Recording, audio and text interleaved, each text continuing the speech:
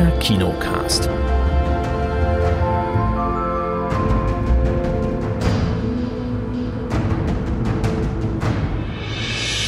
Hallo und herzlich willkommen hier zum neuen Kinocast. Frisch geduscht, die Kate, hallo.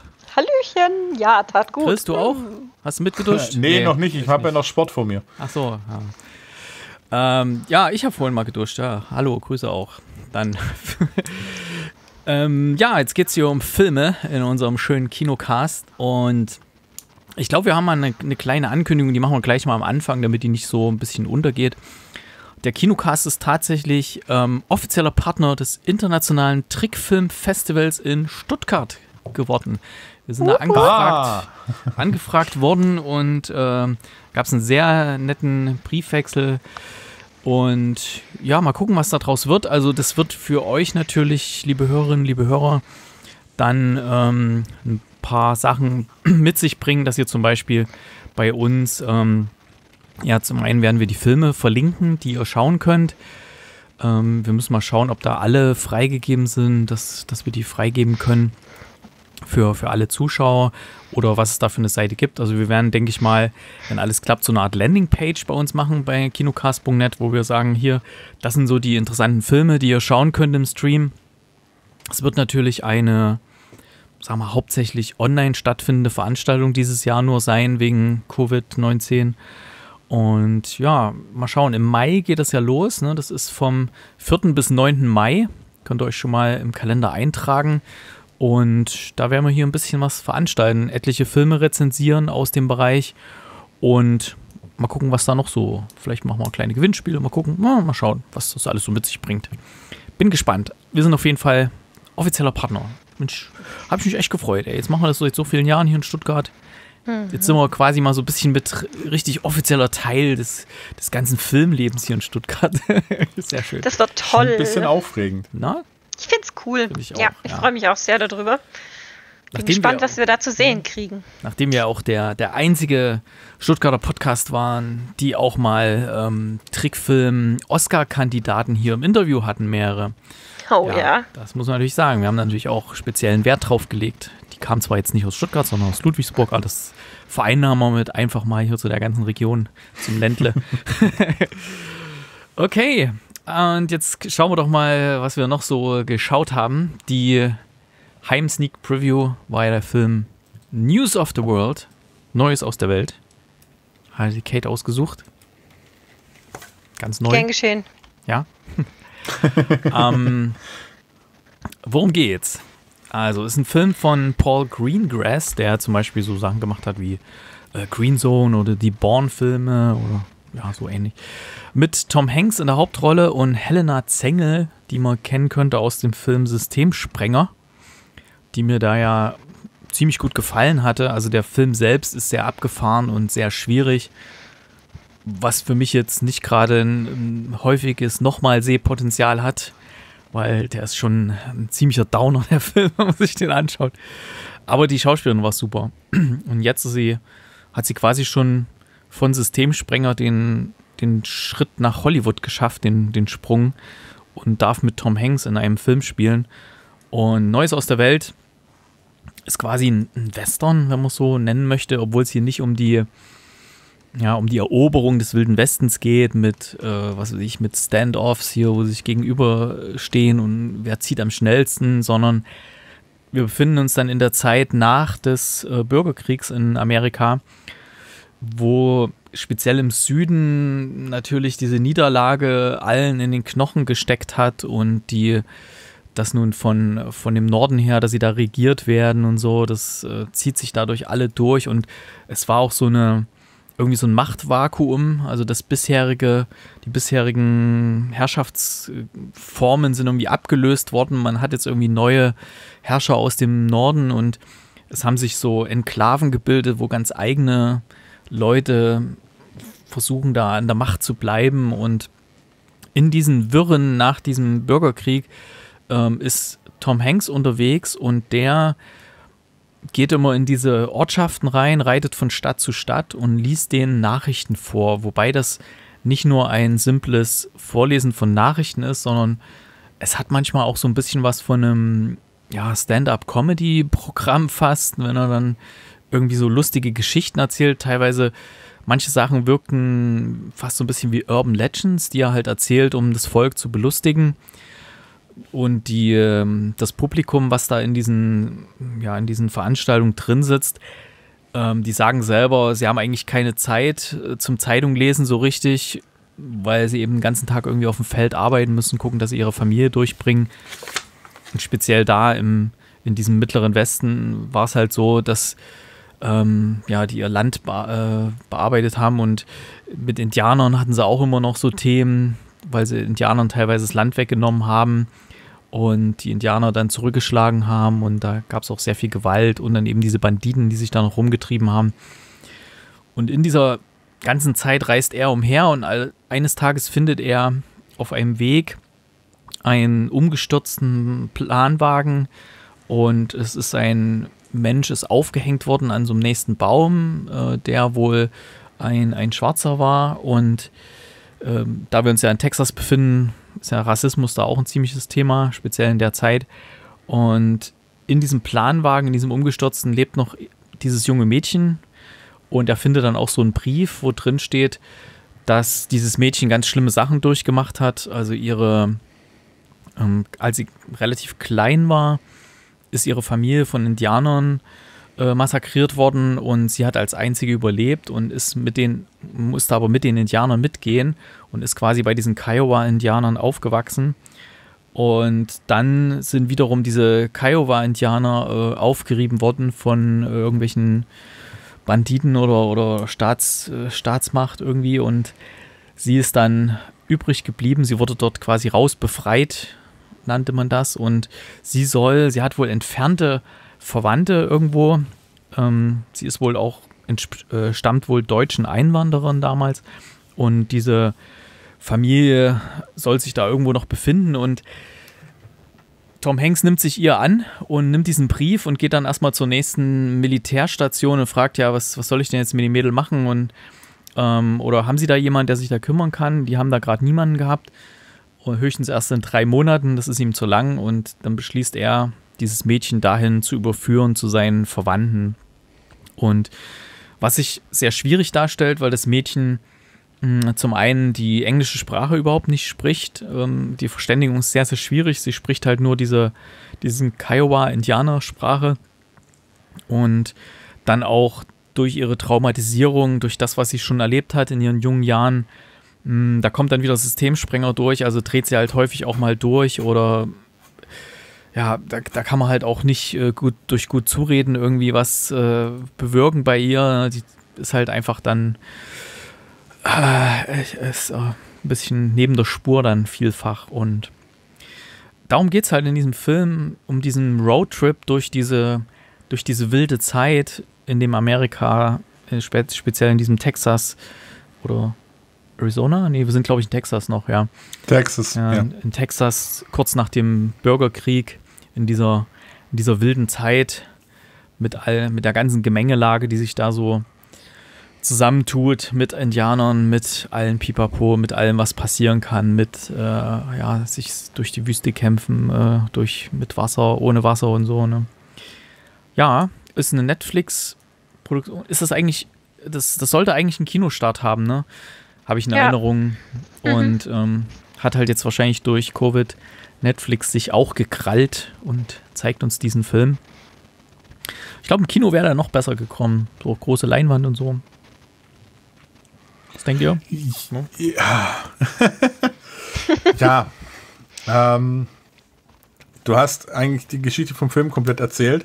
Äh, man muss nicht mehr viel nachdenken, um zu wissen, wie es ausgehen wird, glaube ich. Na, und na. Das kann und, so und so ausgehen. und was ich halt extrem schade an dem Film einfach finde oder fand, ist, ähm, dass du eine Reise durch den wilden Westen hast und es eigentlich komplett klar ist, was alles passieren wird. Also mir war komplett klar, was alles passieren wird und äh, weil es wirklich so das, das ist so, so, so komplett in dem Fall einfach gestrickt war. Also die ganzen Dinge, die passieren, wenn du dich ein bisschen mit der Thematik auseinandersetzt, ist dir es eigentlich klar, dass X zu Y zu Z zu was weiß ich was führt und so weiter. Dass auf jeden Fall äh, das eine noch passieren muss und das andere muss auch noch passieren und dieses muss auch noch passieren, weil wir sind ja auch im Wilden Westen unterwegs und dann muss auch noch das da passieren und dann muss noch das. Und das fand ich super schade, weil das hat für mich dem Film jede Spontanität genommen und ich fand das ich fand es einen, einen sehr, sehr ruhigen Film, der einige schauspielerische starke Momente hatte, aber von der Story her einfach für meine Verhältnisse dann doch im Endeffekt zu dünn war oder zumindest zu dünn umgesetzt war. Weil, wie gesagt, ähm, wenn ich mir, du mich jetzt hinsetzen würdest und sagen würdest, hey, schreib mal einen äh, Western Road Movie über ein ungleiches Pärchen, über einen Älteren, der ein Kind irgendwo hinbringen soll, das die Sprache nicht richtig spricht. Ich glaube, ich hätte dir einen sehr, sehr ähnlichen Film einfach kurz hinskizziert. Und das finde ich schade, weil für mich keine Überraschungen mehr in dem Film da drin lagen. Ich fand es nochmal schauspielerisch von Tom Hanks und auch äh, von Helena Zengel echt richtig, richtig gut geschauspielert, richtig gut gemacht. Die haben eine recht gute Harmonie entwickelt in dem Film. Ähm, das drumherum war blass und das war okay und es wurde wahrscheinlich auch sehr viel Wert auf die schauspielerische Leistung gelegt und deswegen ist es für mich kein komplett runder Film gewesen, weil ja, er war zu vorhersehbar. Konntest du was damit anfangen, Kate? Ähm, also grundsätzlich ja. Also ich muss dem Chris leider in vielen Punkten recht geben.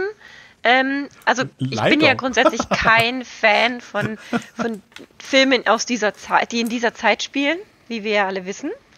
Ähm, ich habe ich hab mich aber darauf eingelassen, weil wir einfach wissen, wir wissen, äh, der wird bei den Golden Globes eine Rolle spielen, der Film. Der wird auch wahrscheinlich bei den Oscars dann entsprechend eine Rolle, eine Rolle spielen. Ähm, und wenn er dann schon auf Netflix zu klicken ist, dann gehört finde ich, dazu, ihn zu schauen. Ich bin jetzt auch nicht komplett enttäuscht. Ähm, ich fand, wie gesagt, ich bin großer Tom Hanks-Fan, deswegen ähm, absolut in Ordnung für mich. Ähm, tolle Rolle. Ähm, sein, seine Background Story kommt für mich zu wenig durch. Ich finde, man hätte da noch viel mehr draus machen können. Und auch, aus, auch zu dieser, der, die Bindung, die er zu, äh, zu dem Mädchen aufbaut, zu Johanna, ähm, hätte man, denke ich, auch noch irgendwie tiefer gehender machen können. Ähm, und ja, es ist halt ein Drama. Es ist ein Western-Drama. Und da ist, das ist halt nicht so 100% mein Lieblingsgenre. Ähm, schauspielerisch toll, auch die Landschaftsaufnahmen fand ich wirklich toll. Aber wie der Chris schon sagt, äh, wenn man den einen oder anderen Western gesehen hat und mal abgesehen von irgendwelchen High-Noon äh, Gunshot-Fights und, und äh, hier Saloon-Kämpfen absieht, ist er doch relativ vorhersehbar, was alles passieren kann und wird.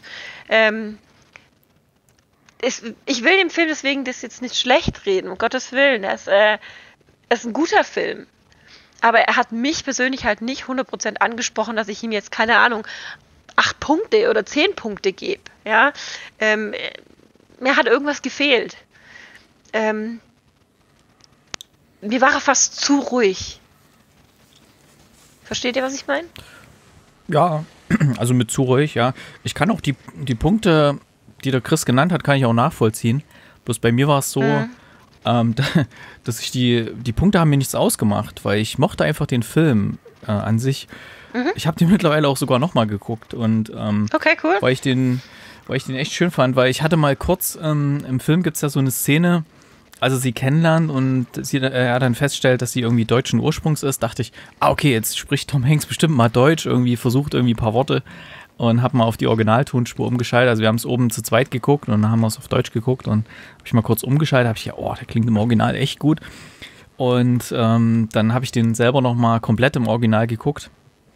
Und ja, mir hat das eigentlich sehr gefallen, dass es mal nicht so ein Film war mit so ganz viel Shishi und da nochmal eine Abbiegung von der Story mhm. und da nochmal, sondern wirklich mal so ganz geradlinig äh, mit allem, was da so passieren, passiert sein könnte damals, wie gefährlich das war, sich auf Reisen zu begeben, irgendwas, wo du heute vielleicht Distanzen, da steigst du ins Auto, da bist du irgendwie ein paar Stunden da und damals brauchst du halt irgendwie drei Tagesreisen mit einem Pferd und es war alles gefährlich, weil da irgendwie Wegelagerer und irgendwelche dubiosen Typen, die da irgendwelche Siedlungen gemacht haben, wo sie Büffel häuten und sonst was.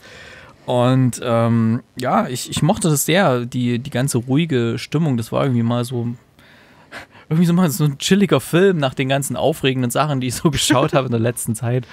Das hat mir echt gut gefallen. Und im Original hat es nochmal für mich ein Stück angehoben. Den, also ich mochte auch den, ja? die ganze Inszenierung, wie es gemacht ist, dass ich das alles auch nicht auf zu viele Personen, ähm, ja, das nicht, nicht so ein Riesenensemble war, auf das man Obacht geben musste, wer macht jetzt was und äh, welche Parallelgeschichten gibt es da noch, sondern sind einfach die zwei, die irgendwie ihren Roadtrip da machen. Da kommen zwar dann nochmal diverse andere oder mal Figuren, die den Weg kreuzen, mal eine, eine Zeit lang ihren Weg mitgehen und dann doch wieder eigene Wege gehen, aber ja, an sich, ich fand die Story auch, auch wie es dann aufgelöst wird am Ende und das Ende fand ich sehr schön. Und ja, das echt, fand ich gut. Ja, ich muss sagen, das Ende, äh, das Ende fand ich auch sehr schön. Ja. Ähm, also ich habe mir das ehrlich gedacht, schon gedacht, dass es so kommt. Ich habe es mir nämlich nicht so gedacht. doch, ich habe es mir tatsächlich so gedacht. Ja. Ich habe mir das, äh, ich habe mir das relativ schnell sogar so gedacht. Ähm, aber wie es dann, also wie es dann umgesetzt wurde, fand ich sehr, sehr schön. Ähm, ich wollte noch irgendwas sagen. Was mich das Problem ist bei jedem Film, der so in die Nähe der Oscars released wird, habe ich halt immer das Gefühl, die sind auch, auch auf Oscar getrimmt. Ja. Also, dass, dass man jetzt halt wirklich diesen, dieses gefühlvolle Drama macht mit starken Hauptcharakteren, die, die auch ähm, Szenen haben, wo sie einfach nur ganz alleine sind und für sich sind und, und einfach so eine starke Szene übermitteln und das dann extra so rausgebracht wird, dass es dann direkt zu den Oscars geht. Und das finde ich, das finde ich ein bisschen schade. Und das hatte ich halt bei diesem Film das Gefühl, weil eigentlich wäre ja jetzt im, im äh, Februar wären die Oscars gewesen, wenn sie jetzt nicht verschoben geworden wären. Ähm, und es wirkte schon sehr auf Oscars getrimmt. Fandest du? Ja. Bis, also ein bisschen. Ja, ich glaube, Fand ich auch. Hm. ja? Doch, fand ich auch. Es war so, ey, Oscars stehen an, wir haben zwei tolle Schauspieler und wir haben einigermaßen okay eine Story. Go for it. Ja, ja und vor allem, es gab halt auch so viele Szenen, die könntest du gut in diese, diese Oscar-Einspieler nehmen. Da gibt es immer diese Einspieler, die ganz kurz hm. Szenen aus dem Film zeigen und, und, und die starke schauspielerische Leistung von dem Nominierten oder von dem Film selber. Und dieser Film strotzt ja von diesen Einspielmöglichkeiten. Weil du halt diese, weil es halt so ein ruhiger Film ist. Ja. Und äh, vielleicht, vielleicht irre ich mich auch, vielleicht kann, kann mich jemand das eines Besseren belehren, aber gefühlt war es schon sehr ausgelegt auf die Oscars. Naja, mein Gefühl. Also so, so, wenn du einen Film richtig auf Oscar trimmst, dann nimmst du meistens eine, eine echte historische Person. Dann hätte man gesagt, ja, den gab es damals, äh, den äh, Herrn sowieso und dann hätte man das am Anfang so irgendwie based on a true story oder so, ne? Das, dann hätte es, glaube ich, so richtig auf Oscar. Hm. Ja. ja, vielleicht. Nee, mir hat er viel Spaß gemacht. Ähm, der hatte mich Ganz auch ehrlich gut. gesagt gleich von Anfang an. Das war nicht so ein Film, wo ich irgendwie lange gebraucht habe, um reinzufinden. Ja, man sah da Tom Hanks, wie er sich fertig gemacht hat und der ist einfach großartig. Ich, oh, ich, ja. ich finde ihn immer noch so total super. Der, der ownt das einfach immer, die, der nimmt sich die Rollen so an und es war ja seine zweite Zusammenarbeit mit Paul Greengrass nach dem ähm, Captain Phillips, den ich ja auch sehr, sehr, sehr mhm. gut fand, den Film. Äh, wo dieses, ähm, ja, wo er da den Kapitän von diesem, was ist das, ein Öltanker oder ein Lieferschiff oder sowas, äh, ein Frachtschiff spielt, was da von somalischen Piraten aufgebracht wird und so. Ah, ja, fand ich auch so gut, den Film. Und das jetzt die zweite Zusammenarbeit. Ja, mir hat er echt von Anfang bis Ende richtig Spaß gemacht. Und da haben ja auch die, die zwei Stunden irgendwie nichts ausgemacht. Deswegen, ja, ich habe ihn da nochmal geschaut. Deswegen habe ich auch nicht viel anderes auf der, auf der Liste diese Woche. ähm, ja, weil ich dachte, na, ich habe nämlich auch viel negative Kritik gehört und zu dem Film. Also da ging es dann los von, ja, der äh, auch gerade, weil der sich ja ein bisschen so die aktuellen politischen Themen ein bisschen mit ähm, quasi als Steigbügel nimmt, wo er sagt, ja, hier Texas First und so, diese ganzen Rednecks, die, ja, und äh, irgendwelche, die dann auf die Regierung in, in, in, äh, in Washington schimpfen und so. Das ist ja nur alles ein bisschen aktuell politisch gefärbt und so und da wirft man dem Film ganz gern vor, dass er sich halt das nur annimmt und das eigentlich nicht wirklich äh, verkörpert und dass die Story halt wirklich sehr simpel ist. Aber mir hat es halt Spaß gemacht. Mehr kann ich dazu die, nicht sagen. wir, wir, haben jetzt eine deutsche Vertretung mit der Helena Zengel. Wie fandest du sie? Also wie fandest du ihre schauspielerische Leistung? Das war halt Systemsprenger light, würde ich mal sagen. Ja, gell? Sie hat sich nicht viel geändert und ähm, ja, ich finde es also immer top, wenn, wenn jetzt Hollywood äh, mal so nach, nach Deutschland guckt oder insgesamt nach Europa guckt und sagt, boah, da gibt es eine gute Schauspielerin. Die hat da so eine so eine schwer erziehbare gespielt und richtig gut und so. Und wir können eigentlich genauso eine hier brauchen für die Rolle, die halt immer mal irgendwie von Traumata ge geplagt ist und irgendwie gar nicht klarkommt. Aber ich fand, sie hatte dann auch ein paar Szenen, wo sie wirklich ihre, ihre, ja, ihr Systemsprenger-Rolle mal verlassen hat, wo sie zum Beispiel dann in das äh, alte Elternhaus wieder reingeht und so. Und da gab es noch ein paar andere Szenen oder auch dann noch am Ende und so man hat ja dann noch irgendwie, nein, will ich jetzt nicht verraten, aber ähm, ja, ich fand es sehr gut. ich würde sie, ich sie halt gerne mal in einer normalen Rolle sehen. Weil ich kann, ich, klar, ein Ausraster zu spielen ist nicht, nicht einfach. Gerade bei Systemsprenger hat man es gemerkt, dass das, glaube ich, echt hart ist, sowas zu spielen und nicht einfach ist. Aber ich würde sie halt gern mal in einer neutralen, in einer normalen Rolle sehen weil ich kann, ich kann aktuell nicht einschätzen, ob sie eine gute Schauspielerin ist. Was meinst du mit einer normalen Rolle? Irgendeine Komödie? Na, ein normales oder? Kind. Nein, ein hm. normales Kind mit Interaktion mit ihren Freunden. Weißt du, wie, keine Ahnung. Als, als Kind von irgendeinem, von irgendeinem Elternteil, was weiß ich. Also nicht als Randale-Kind, was rumschreit oder gar nicht mehr redet und trotzig ist, sondern als normales, ruhiges, was weißt du, in so einem keine Ahnung, so ein Kind in einem Jugendfilm. So aller fünf Freunde oder was weiß ich. Ja. Also nicht so eine ex exzentrische Schreirolle. Das, das meine ich damit mit normaler vielleicht Rolle. mal äh, von der TV-Serie Inga Lindström die Folge Miller gucken. Da hat sie ja? bei Familienfest in Sommerby hat sie eine Miller gespielt. Okay. Das klingt nicht sehr schwer ziehbar oder so. Inga Lindström ist okay. ja meistens äh, etwas Sie vielleicht mal reingucken. Nee, aber ansonsten, ja. wenn es so funktioniert, sie muss halt erstmal sehen, wie sie so ihren Platz findet. Sie muss natürlich aufpassen, dass sie jetzt nicht so ein Typecasting kriegt, dass sie immer nur so die, das die Verrückte nämlich, spielt, ja. ja. Aber ja, mhm. das war nun mal das große Ding und ja, jetzt an Seite von Tom Hanks, da werden, denke ich mal, noch mehr auf sie aufmerksam. Gibt, gibt schlechtere Starts. Definitiv, ja. von mir acht Punkte für Neues aus der Welt, News of the World. Ich weiß, ich liege damit sehr hoch. Aber. Das ist doch okay, ja, okay wenn, er dir, ja. wenn er dir so gefallen hat, natürlich. Ich bin bei sechs Punkten. Ich bin bei 6,5. Haben wir doch. Äh, die schön etwas über der Mitte alles abgebildet, bis hin sogar ein Ausreißer nach oben. Und uh. das muss, muss halt jeder selber entscheiden. Ihr könnt das tun auf Netflix. Gibt's Neues aus der Welt, News of the World. Und wenn ihr die Netflix Flatrate habt, dann schaut da mal rein in diesen Film. Was gucken wir denn nächste Woche? Ab morgen gucken wir auch wieder auf Netflix etwas. Und zwar heißt der Film I Care a Lot. Mhm. Habe ich schon mehrfach jetzt den Trailer geguckt. Ich freue mich jetzt, den Film anzugucken. Ähm, und für die nächste mhm. Woche haben wir auch schon einen Tipp. Da, diesmal geht es zu Amazon Prime als kleiner Vortipp noch. Ähm, und der Tipp heißt, die Mauer muss weg. Ja, ich, ich wollte den ja schon checken, ne, ob, ob, der, ob da ja. was taugt. Ne? Der, ist, der ist okay, kann man gucken. Ich habe ihn geguckt. Ja? ja, ja. Na gut, die Mauer muss. Da, darf er noch nicht drüber reden. Hab noch ein Embargo drauf, bis, bis wir da drüber reden. Checken, wo sie wohnt. Ja. So, bei den gesehenen Filmen haben wir ja nichts weiter. Ähm, nee. Weil, wie gesagt, ich hier zweimal das und ich habe den, die unsere Sneak von drei Wochen habe ich ja auch schon geguckt. Deswegen.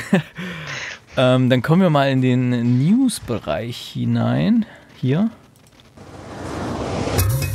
News. Die wichtigste News mit dem Trickfilmfestival habe ich ja schon genannt. Für alle, die jetzt erst äh, oder die geskippt sind, von, von Anfang bis zum jetzt, Weil erst, jetzt erst einschalten.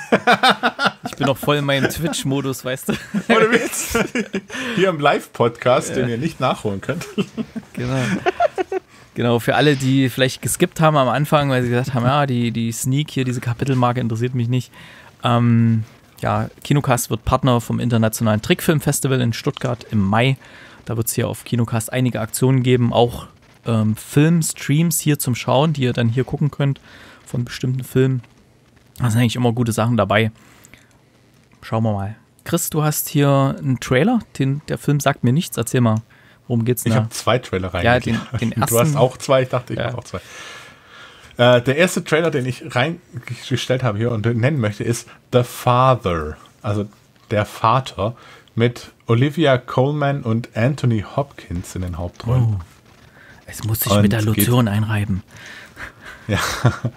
ähm, wird schon jetzt beschrieben als die beste schauspielerische Leistung von Anthony Hopkins ever.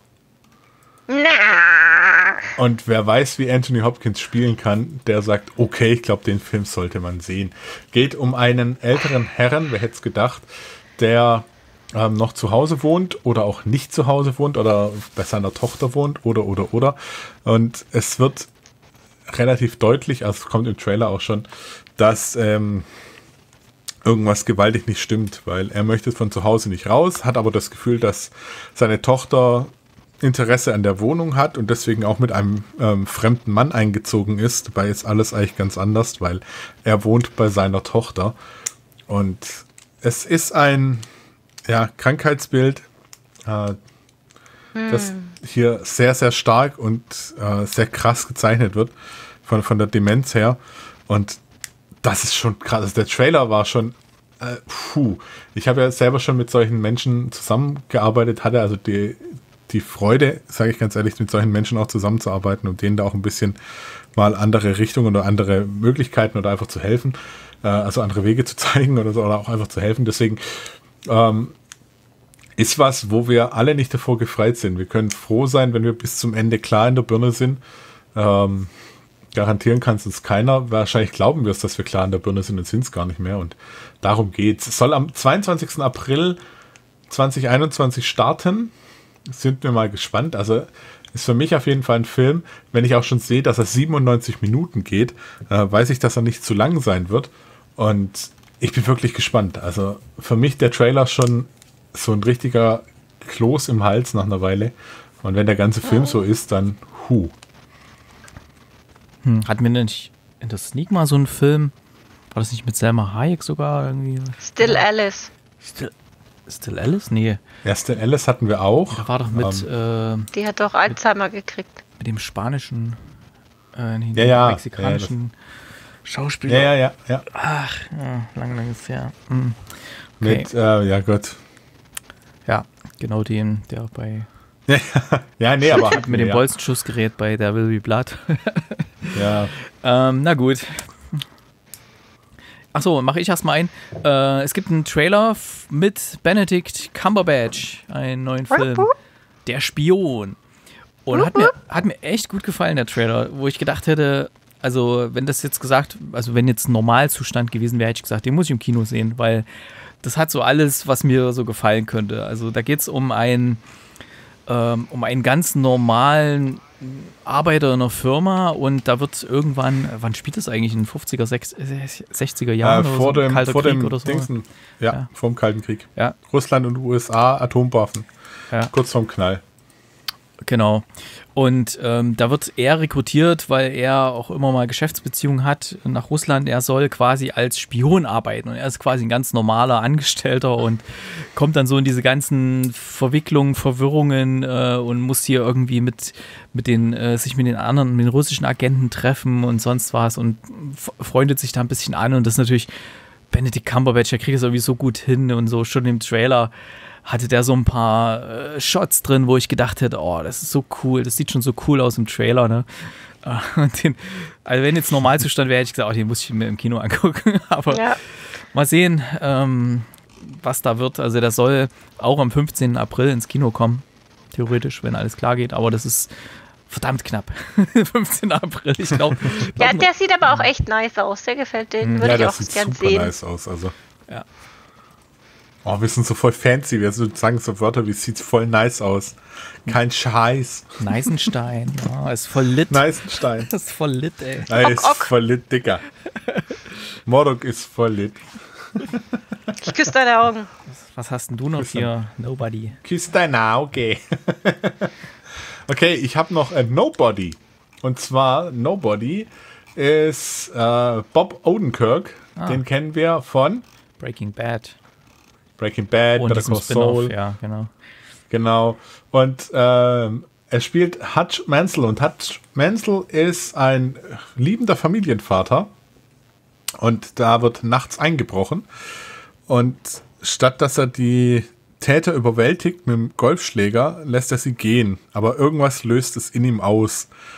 Und das kommt dann in dem Trailer sehr schön, weil äh, irgendwie schlummert brutale Gewalt in ihm und brutal ähm, einfach auch dies, ganz viele brutale Brutalität, sagen wir es mal so. Und ähm, er beschließt dann mehr oder weniger, alles klar, äh, jetzt, jetzt lasse ich das Ganze mal raus, weil er hat eine relativ dunkle Vergangenheit. Und er mischt dann in dem Bus erstmal ein paar ähm, Räuber oder so, so, so Draufgänger gehörig auf und ja, ah, dann. Ich hab's ähm, gerade laufen hier ohne Ton, ja. ich auch. Und dann entwickelt sich das alles so in eine etwas andere Richtung noch. Nobody ist, ähm, ja, ich bin mal gespannt. Also, er, er wirkt wie oh. ein, ein richtig cooler, cooler Sneak-Film. Produzent von oh. John Wick stand gerade da. Ja, das Deswegen sah nämlich gerade auch so aus, ja. Also, Produzent von John Wick und es spielt Christopher Lloyd auch mit. Ja, okay. Und also ein Film, wo Christopher Lloyd mitspielt. Ja, ich meine, muss, muss man so gucken, ja. So, oh, gucken, der verdrescht hier aber ganz schön. 1. April kommen. Oh, am 1. April soll der schon kommen. Oh, das wird aber knapp. Ja, hm. wird April, auch knapp. April. Ja, aber das wäre so ein hm. typischer Sneak-Film. Oh, der wäre cool gewesen, der Sneak. der wäre super. Der wäre abgegangen in Erik feiert den Trailer jetzt auch schon. Also, nee, wie gesagt, mein, so Produzent von, von, John Wick hm. und das sieht man. So von der Art her wäre das ein cooler Sneak-Film gewesen. Ja.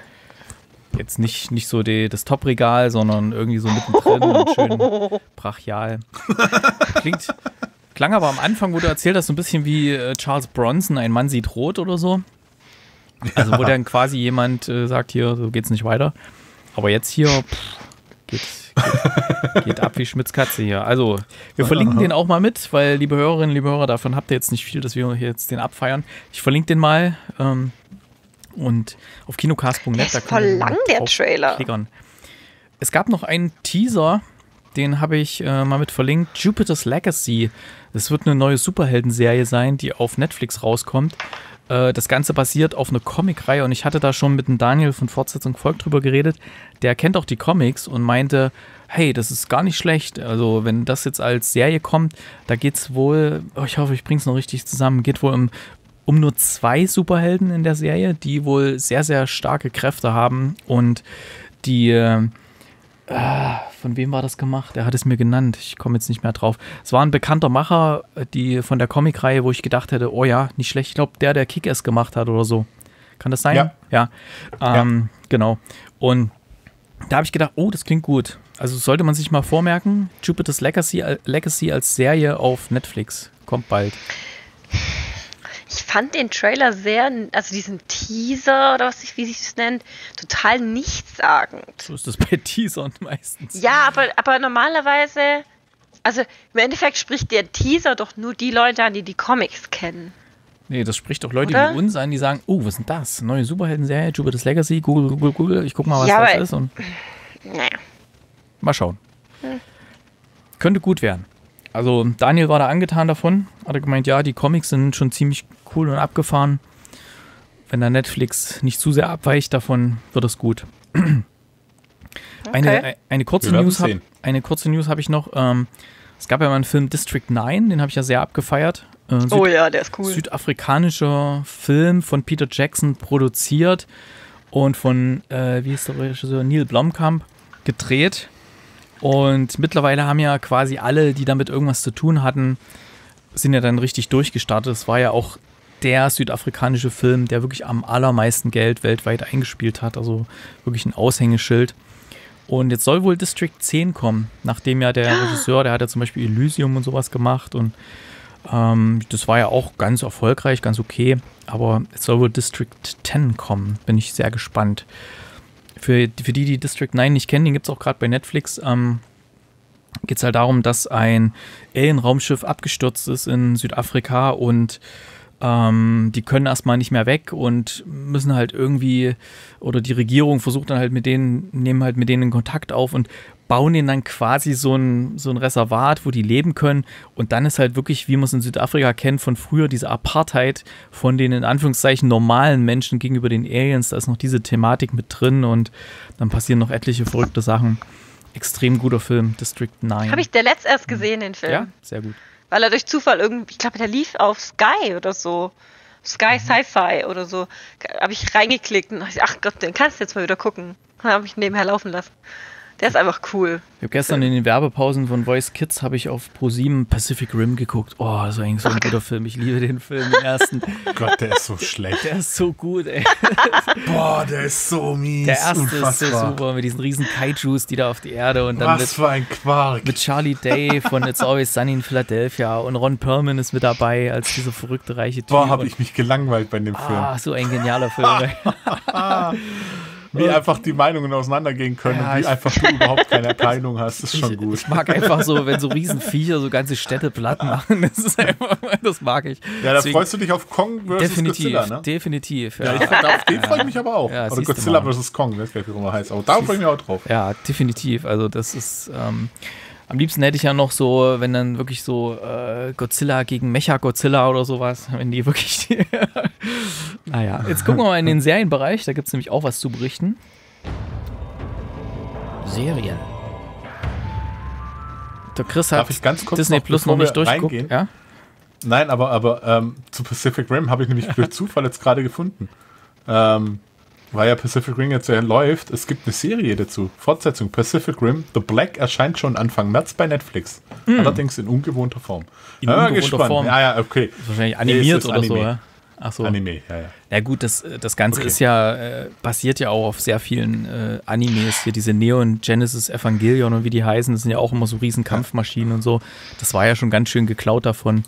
Aber ich fand's cool, den ersten. aber also, also wenn es gut Anim gutes Anime ist, dann könnte die Serie aber echt interessant sein.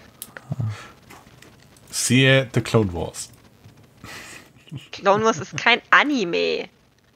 Oh, Müssen wir jetzt nochmal definieren, was ein Anime Serie. ist? Ja, es ist eine animierte Serie, aber kein Komm, Anime. Kommen wir doch gleich mal zu den Serien. Serien. so, Disney Plus. Hast du jetzt durchgeschaut, alles. Nee, immer noch nicht Bevor, das, bevor du Star anfängst zu schauen. nee, ich bin jetzt bei Star Wars Rebels angelangt. Ja. Ähm, was eigentlich auch eine sehr coole Serie ist. Also ich habe auch ein bisschen gebraucht, am Anfang reinzukommen, aber da sind die Folgen relativ knackig. Ähm, und spielt ziemlich genau 15 Jahre nach der Übernahme von Palpatine als Imperator, weil das Imperium feiert nämlich den Tag des Imperators. Mhm. Und der jährt sich da. Und da spielt Sabine Wren mit und Ezra Bridger. Ähm, die euch alle überhaupt nichts sagen werden, aber wenn die Kate mal Korrekt. vor sich guckt, vor, vor, vor ihr steht ein kleiner, eine kleine Figur steht vor dir, eine, eine noch original eingepackte äh, Spielfigur. Hä? Müsste auf dem Wo? Tisch vor dir stehen. Ich, ich sehe hier nur einen Fighter. Ja, ja, nimm den mal. Ja. Wie heißt der? Sabinas TIE Fighter.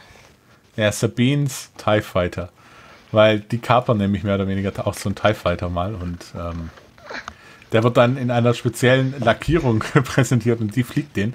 Äh, also es ist sehr, sehr, sehr cool, was da auch wieder an, an Nebenstory zu Star Wars präsentiert wird. Es sind auch schon sehr bekannte äh, Gesichter zu sehen gewesen, unter anderem R2D2 und C3PO, die auch auf einer Mission waren. Und ähm, ein gewisser Herr Organa war auch schon dabei, Senator Organa.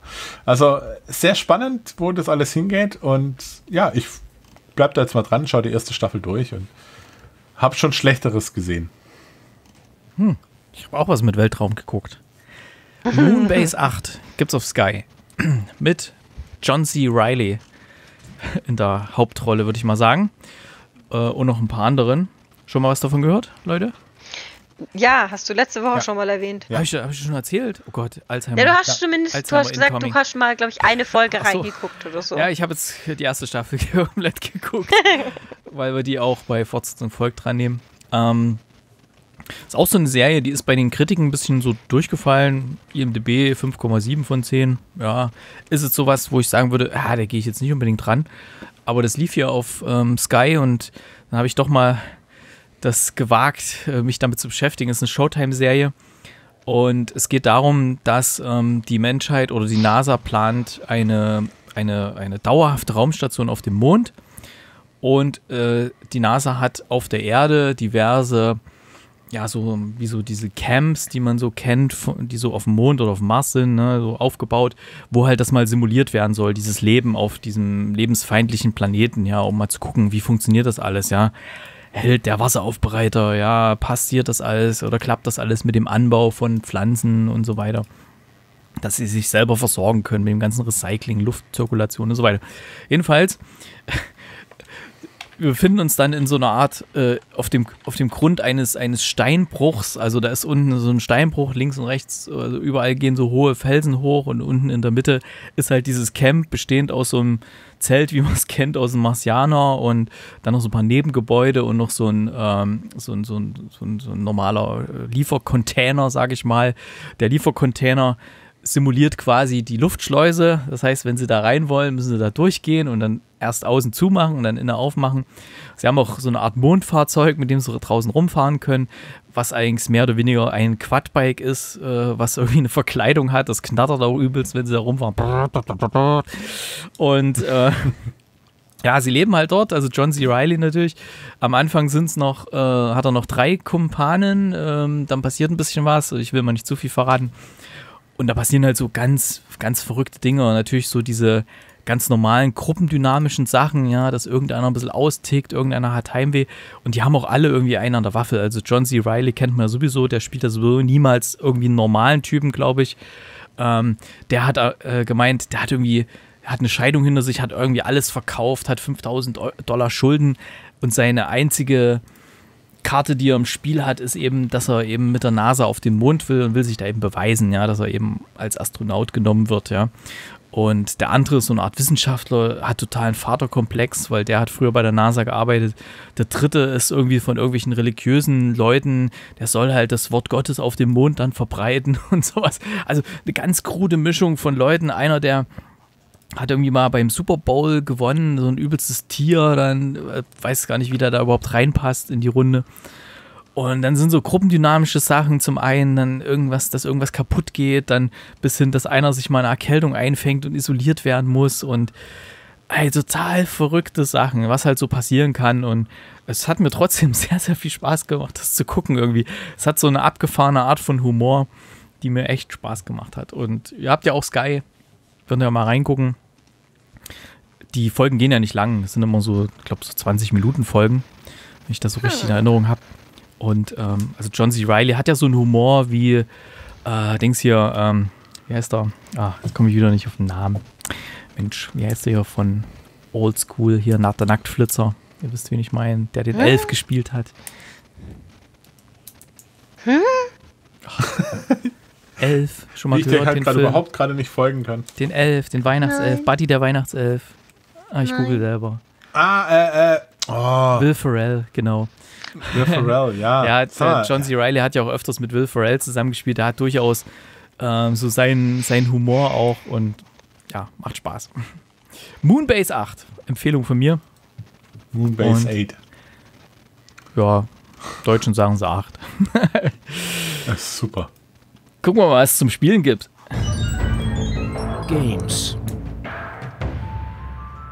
So, meine Lieben, heute bin ich mal dran. Ja, hey. Denn heute kann auch ich mal über was berichten. Ist das nicht schön? Immer redet ihr über Games, jetzt bin ich mal dran. Ähm, der Chris hat ja, wie ihr vielleicht wisst, letztes Jahr eine Switch gekauft, damit ich was zum Spielen habe, während ich ja so lang krank war. Ähm, das hat auch ganz gut funktioniert. Ich habe so ein bisschen hier äh, Animal Crossing und so und Tetris und da gibt's jetzt Mario, ne? Pokémon ne? und so gespielt. Was? Gibt es jetzt Mario? Das gibt es jetzt so, ja? zum Geburtstag von Mario, kannst du jetzt Mario-Sachen.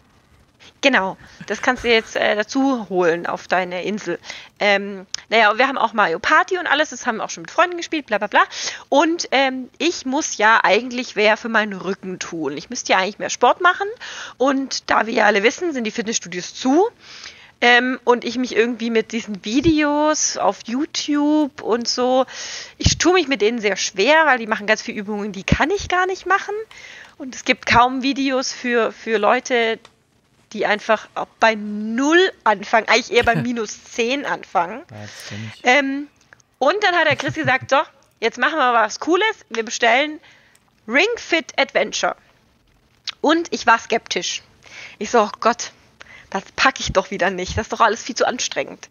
Ähm, wir haben das gestern mal ausprobiert. Ähm, Lieferumfang ist natürlich das Spiel für die Switch. Dann äh, dieser Ring, also ein Ring, den man rechts und links in der Hand hält, wo oben das rechte Switch-Handteil reinkommt. Und ein Beingurt, wo dann das linke Switch-Teil, äh, Bedienteil reinkommt so dass du quasi jede Armbewegung, jede Handbewegung, jede Beinbewegung registriert wird ähm, von der Switch. Du stellst dann deinen Charakter und dann hast du die Möglichkeit, ein Adventure zu spielen. Das heißt, du erstellst einen Charakter und dann hast du eine Aufgabe, also eine Quest, du musst wohin laufen. Und du musst halt wirklich laufen. Ja, es wird vorher alles kalibriert, das geht relativ schnell, ist sehr lustig. Ähm, und dann musst du laufen. Und wenn du Treppen, wenn es da Treppen hochgeht, musst du halt richtig die Knie anziehen und richtig hochlaufen. Und ähm, mit dem Ring, wenn du den zusammendrückst, dann kannst du so Luftstöße ab, ab, äh, abfeuern und dann kannst du Münzen einsammeln und Türen aufstoßen und ähm, alles Mögliche. Wenn du ihn auseinanderziehst, dann hast du so einen Saugeffekt. Und wenn dann so ähm, Münzen an der Seite zum Beispiel vom Wegesrand sind, kannst du die so einsaugen und das Ziel ist halt so schnell wie möglich ans andere Ende zu kommen, aber auch ähm, Münzen einzusammeln und äh, Pakete kaputt zu machen und ähm, über Hindernisse drüber zu springen und solche Sachen. Das ist so, so startest, damit du eben anfängst, dich damit so zu bewegen und rausfindest, wie, wie du den Ring benutzt, damit er richtig, damit er richtig funktioniert und du eben Punkte machen kannst. Und das wird dann über die Level hin schwerer und die Geschichte entwickelt sich dann auch weiter. Ähm, was extrem viel Spaß macht. Als dann heute eine Freundin von mir zu Besuch war, ähm, ich habe ihr davon erzählt und da haben wir das auch aus, haben wir das mit ihr auch gespielt oder ich habe es mit ihr gespielt. Und da haben wir auch noch andere Feature entdeckt, denn du musst nicht unbedingt dieses Adventure spielen. Du kannst auch einzelne Trainingseinheiten machen. Also du kannst auch sagen, ich will jetzt heute nur Armtraining machen und dann gehst du halt in den, in den Schnellspielmodus und dann kannst du diese ganzen Armtrainings machen. Und ähm, Beintraining. Du kannst äh, dir einen Trainingsplan zusammenstellen. Der beinhaltet dann auch Yoga. Jede Menge Yoga-Positionen. Und ähm, das, ist, das ist richtig, richtig abgefahren. Du kannst auf, auf Zeit spielen. Ähm, und also wirklich, du, du, das ist richtig, richtig abgefahren. Weil du bist, du bist hinterher todfertig. Bist nach 20 Minuten todfertig, als ob du gerade eine Stunde im Fitnessstudio an irgendwelchen Geräten gehangen hast. Und es ist wirklich auch richtig gesund. Die zeigen dir auch ständig, welche Muskelgruppe du jetzt gerade aktivierst und welche Übung was äh, auslöst und wie viel du davon wirklich machen sollst und was übertrieben ist. Du kannst die Intensitäten einstellen, ob du jetzt ein totaler Anfänger bist oder schon ein fortgeschrittener. Ähm, es ist mega cool. Also ich war, war bin, bin wirklich positiv überrascht. Ähm, während dem Adventure musst du auch ab und zu gegen Monster antreten. Also du bist nicht nur die ganze Zeit am Rumlaufen, sondern du musst auch in sportlichen Wettkämpfen gegen Monster antreten. Und da musst du dann halt Übungen machen. Das heißt, es kann sein, du musst Crunches machen, es kann sein, du musst Sit-Ups machen, es kann sein, dass du mit dem Ring irgendwas machen musst, dass du über Kopf äh, Armpresse machen musst oder Sit-Ups machen musst, ja, alles Mögliche, ja. Ähm, und das ist richtig, richtig cool, weil du willst dann in dem Moment, du siehst, dass dieser Balken von dem Monster immer kleiner wird, dieser Lebensbalken, und du willst es einfach besiegen und gibst richtig Gas. Das ist unglaublich witzig. Also mir hat es richtig Spaß gemacht. Und dann eben auch diese Möglichkeit, dass du ähm, auch einfach nur einzelne Trainingseinheiten machen kannst. Ja? Oder es gibt so Sets, mit vier Übungen, vier verschiedenen Übungen, zum Beispiel Beinset. Dann machst du vier verschiedene Übungen mit mehreren Wiederholungen nur auf die Beine. Das ist richtig ausgeklügelt. Ich bin total begeistert davon. Habe mir direkt einen Trainingsplan erstellt. Na, Zwei sogar. Kriegen die schon gut hin, sowas bei, bei Nintendo. Das ist richtig, richtig gut. Und wie fit ja auch. Wichtig ist halt. Das reagiert ja. auch richtig krass. Du kannst auch deinen Puls messen. Ja. Ja, für viele richtig, richtig cool. war ja auch wie fit zum Beispiel auch so die erste, sag mal so, du brauchst ja erstmal so eine initiale Aktivierung, dass du überhaupt das mal, auf gut Deutsch gesagt, einen Arsch hochkriegst und was machst. Ne? Ja. Das ist ja immer für viele schwierig und ich kenne das auch noch, wenn du dann anfängst und oh, alles, ey, da sind so Wunder was für Sachen, das kriegst du nie hin und so. Und ja, dann wie fit hatte ich ja auch und da ging es dann erstmal so ein bisschen so die ersten Sachen, die man da gemacht hat. Hm. Ja, Ring Fit habe ich schon etliche Male gesehen, irgendwo, dass welche das gemacht haben. Es ging ja, das gibt es ja jetzt schon eine Weile. Da ging dann auch mhm. ähm, so ein paar Monate, nachdem das rauskam, waren dann so Vorher-Nachher-Bilder auch speziell aus Japan zu sehen. Da hatten hm. ja welche, die hatten ja die, ähm, äh, die, die, den Lockdown schon ein bisschen eher gehabt. Und bei denen kam das so kurz vorm Lockdown raus, das Ring Fit. Und die haben sie gleich mal die Zeit genutzt zu Hause.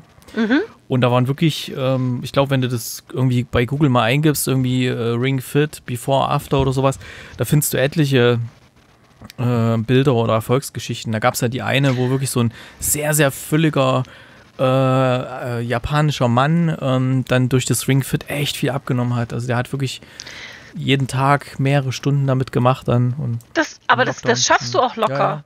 weil das macht richtig, richtig Spaß. Mhm. Du, du, also wir haben, die Ellie und ich haben vorhin gespielt und haben uns abgewechselt und wir haben insgesamt fast dreieinhalb Stunden gespielt. Mhm. Ja, weil wir halt auch ausprobiert haben und dann wollte sie unbedingt noch Yoga ausprobieren und dann wollten wir, haben wir noch zusammen was gemacht. Also ich glaube, wenn du noch einen zweiten Ring dazu nimmst, dann kannst du auch zusammenspielen. Das weiß ich aber nicht hundertprozentig. Aber einer reicht in der Regel, weil du, du möchtest ja dann auch, wenn du jetzt, wenn jetzt zum Beispiel der Chris und ich haben jetzt gestern nacheinander gemacht und das war ganz gut, weil er konnte mir zugucken, wie, wie es funktioniert und ich habe es ausprobiert und während er dann gemacht hat, konnte ich mich ausruhen.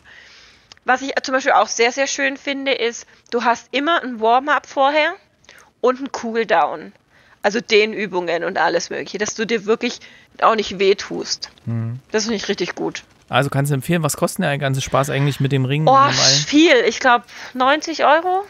90 ja, Euro kostet. Das geht ja. Ja, ja aber äh, ich habe das, das, der Witz an der Sache ist, ich äh, bin ja eigentlich auch so ein äh, Konsumopfer, der gerne bei dem großen A bis Z bestellt.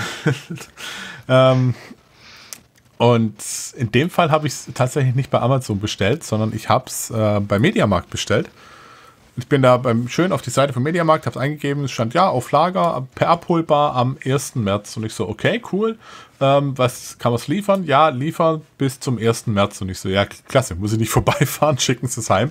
Und es kam dann schon am Samstag. Also von mhm. dem her, das ist schon mal ganz cool. Und ja, ich bin gespannt. Es wirkt auf jeden Fall mhm. wie. Was wir jetzt, was wir jetzt doch festgestellt haben, was wir jetzt noch festgestellt haben, was wir jetzt noch nachbestellt haben, ist, ähm, der, der, der, der Ring hat ja rechts und links Griffe.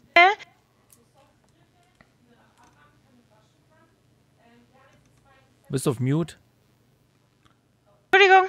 Ähm, der Ring hat ja rechts und links so zwei ähm, so Griffe, so Schweiß, schweißabsorbierende Stoffgriffe.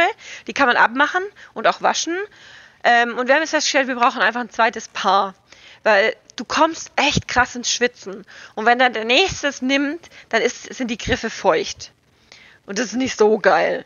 Ja. Deswegen haben wir jetzt äh, noch ein zweites Griffpaar bestellt. Ähm, das hat dann auch eine andere Farbe, lustigerweise. Das heißt, jeder hat sein eigenes Griffpaar.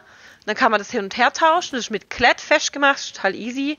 Und ähm, wir haben auch noch ein zweites äh, Beinringband bestellt, weil ähm, äh, das würde ich sowieso jedem empfehlen, der das mit seinem Partner macht, weil man, jeder hat eine unterschiedliche ähm, Oberschenkelbreite oder Umfang.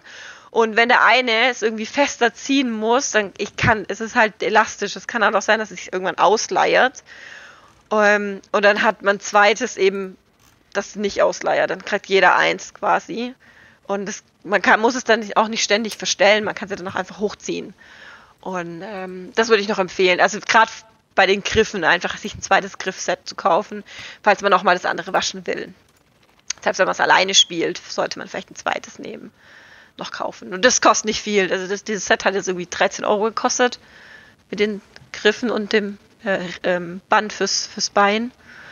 Finde ich okay. Ja. Ähm, also, also, es macht Mods den Spaß. Ich habe bestimmt morgen Muskelkater. Ich bin dann gespannt auf irgendwelche Fortschrittsberichte, was Fitness angeht und so. Mal gucken. Ja, also ja, mir, ich mache jetzt erstmal. Das ist ja mal wichtig, dass man auch dran bleibt, dass das ein bisschen, äh, ja. diese Gamification ist ja da ganz gut. Ja, also ich habe ja vor, das auf Twitch live zu streamen im Bikini. Ja, kannst du machen. machen auch sehr viele Asiatinnen, die verdienen damit sogar Geld. Also, also ich sagen muss, ich, ich, mir geht es jetzt grundsätzlich erstmal darum, ich bin ja da, durch die ganze Operation und so ziemlich außer Form, was, was Muskulatur angeht. Ich möchte einfach jetzt im, äh, in erster Linie erstmal meinen Rücken wieder stärken. Ich mache halt sehr viel Rücken- und Armübungen, Schulter und so. Ähm, einfach um da erstmal wieder eine Base zu schaffen, ja. weil aktuell geht da gar nichts. Ja. die ähm, Grundaktivierung muss ja da sein. Ja genau, und dann ja. möchte ich quasi aufsteigen. Aber was mir halt so übel. Spaß macht, ist das Hin- und das Rumrennen. Das ist durch, durch diese Welt rennen und irgendwie diese Luftdinger abschießen und so. Mhm. Das macht mega Spaß. Ja, das ist halt wichtig bei, bei so sportlichen Sachen, damit man auch dran bleibt, ähm, ja. dass halt irgendwie, dass man irgendwie einen Spaßfaktor findet, sei es nun beim Tennis oder beim Radfahren oder beim Laufen, keine Ahnung, dass irgendwo was drin ist, was einem Spaß macht. Und das ist halt das Schöne, du, mhm. du musst dich nicht entscheiden, du hast nicht immer dieses Adventure, das du spielen musst, sondern du kannst auch sagen, hey, ich will jetzt nur eine kurze Einheit, 15 Minuten nur Arme, dann gehe ich halt in die, in die Einzelspiele rein, ja, in die Einzelsets. Und dann mache ich schon zwei Sets und dann war es für heute. Ja. Und das ist halt cool. Du, du musst, du bist du nicht festgelegt auf benutzen, immer ne? Adventure spielen. Ja. Du kannst einfach, du kannst, du kannst quasi da jede Übung machen, die du willst. Alle. Du kannst, du kannst, du sitzt also. auf dem Boden, hast diesen Ring zwischen den Knien und machst quasi diese, drückst die Knie zusammen und hast den Widerstand durch den Ring. Mhm. Ja, solche Übungen sind es auch. Oder was weiß ich, alles Mögliche. Du kannst auf Zeit, wie oft du den Ring zusammendrückst. Das ist voll geil. Sehr cool. Also kannst du empfehlen. Mega anstrengend, aber saug. Absolut. Falls richtig, es bei, cool. bei Netgames und so bei, und bei dem großen A nicht bekommt, äh, Quatsch, bei, bei Mediamarkt nicht bekommt und beim großen A bei Netgames gibt es auch, kostet 99 Euro mit Beingurt und mit allen Pipapo, auch lieferbar. Nur mal so, damit es genannt ist. Und dann kommen wir jetzt mal zur Rätselecke. Rätselecke. Der Chris scrollt schon wie wild hier. Hör schon. Ratsch, ratsch, ratsch. ja, ich bin ja nervös hier.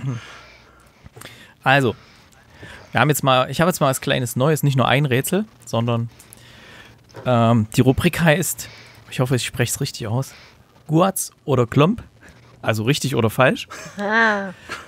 Ich sage einen Fakt. okay, alles klar. Du, du darfst es. Beim Klomp ist gut. Ja. Äh, du darfst es gern auch nochmal aussprechen, dann machen wir hier einen Trenner drauf. Gut, oder Klump. So, Klump. okay. Henneficker Scheißdreck da. Gut, oder Klump. Henneficker Scheißdreck da. Also, die Spielregeln. Zuhören jetzt. Die Spielregeln. Ich lese drei Fakten vor. Ja. Und nach jedem Fakt entscheidet ihr euch beide, ist er richtig oder falsch. Ja. Okay. Und dann guck mal, entweder es gibt einen Gleichstand, dann gibt es eine Schätzfrage oder ja, oder es gibt einen Gewinner, okay? So, Sache, Schätzchen. Also. Also, lässt du jetzt drei Sachen vor oder eins nach dem anderen? Eins nach dem anderen. Okay. Kurz oder Klump? Matrix 4 wird gerade in den Filmstudios Babelsberg gedreht. Richtig oder falsch? Falsch. Klump. Falsch. Klump. Ihr sagt beide falsch? Ja. Ist richtig. Wird gerade dort gedreht. Gab's ein, gab's, ein, gab's ein Posting von den Filmstudios Babelsberg mit einer Liste von Filmen, die gerade dort gedreht werden. Waren noch andere interessante Sachen dabei. Folgt den Filmstudios Babelsberg auf Instagram. Beide null Punkte. Wir machen weiter. Meghan Markle ist durch ihre Hochzeit Mitglied der royalen Familie, dürfte bekannt sein, oder? Ja. Bekannt geworden ist sie durch die TV-Serie Suits. Wer sie teilweise nackt auf der Leinwand sehen möchte, kann einen ihrer ersten Filme, A Lot Like Love, schauen. Richtig oder falsch? Falsch. Richtig. Gut. Es ist falsch. Ta äh, Kate hat einen Punkt, Klom. Chris hat null. Ja. Und jetzt kommen wir zu dem letzten. Chris, jetzt. Achtung. Ist egal, ich google nach dem Film, ist mir wurscht. Ja, das wird schwer. Also, pass auf. Star, Star Wars, ja? Sicheres Terrain Oh für dich. nein. Also, anstatt Evox sollten eigentlich Wookies den Planeten bevölkern. Man fand aber nicht genügend erwachsene Darsteller, sodass man aus den Kostümen kleinere für Kinder gemacht hat. So entstanden die Evox. Richtig oder falsch? Falsch. Falsch. Falsch. Ähm, es ist richtig. Ach, Oh, was? come on. Also, Kate hat einen Punkt. Halt's Maul. Ja, Aber. Habe ich gewonnen? ja, du hast, du hast gewonnen. Ja, braucht gar keine Schätzfrage. Das war die Rubrik.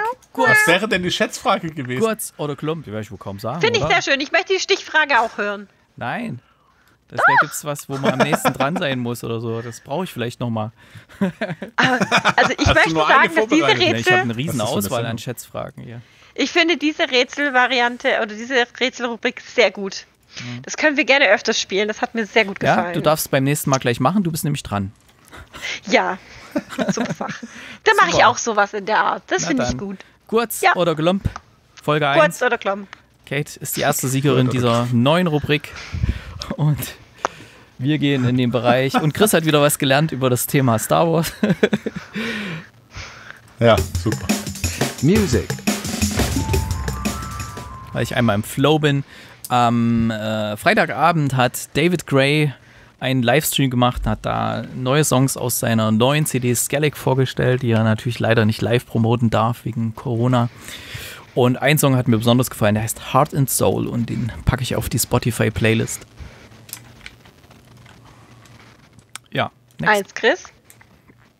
Äh, ich habe einer meiner All-Time Favorite Songs heute mal rausgesucht und setze den drauf von Puddle of Mud, She Hates Me. den kenne ich.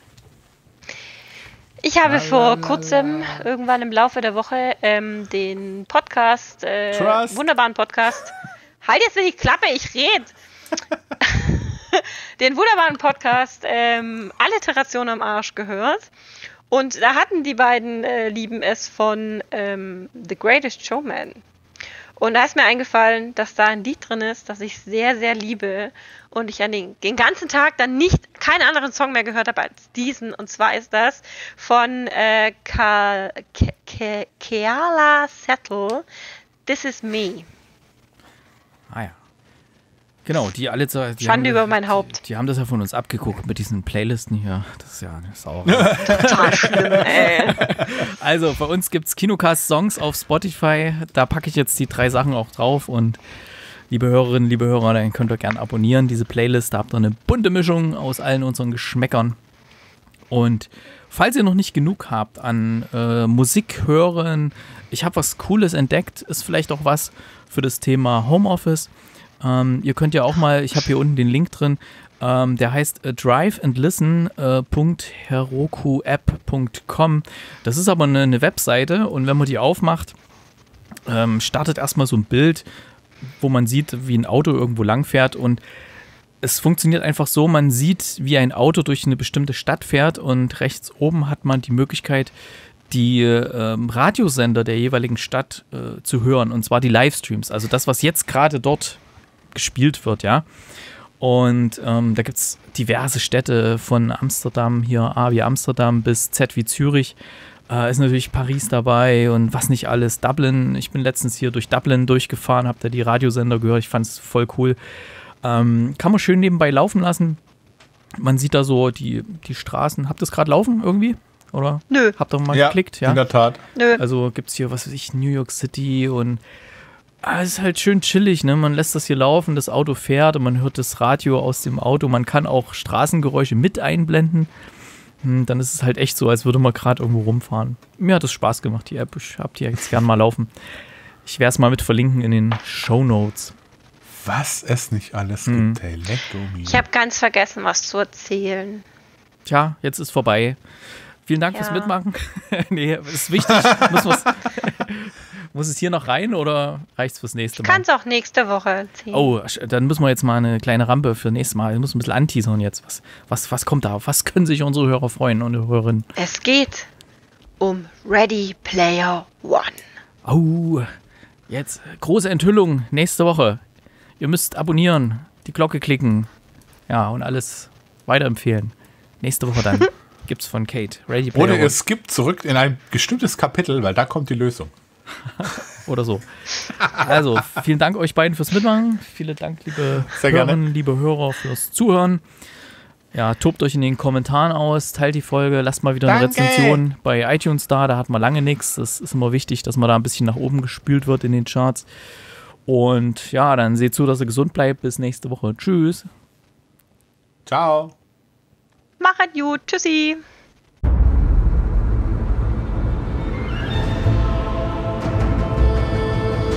Bis bald im Kinocast.